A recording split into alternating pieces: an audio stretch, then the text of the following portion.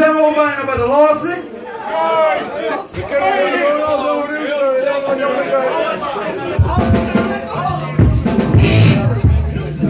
Kijk, dit is voor alle ooit liefhebbers.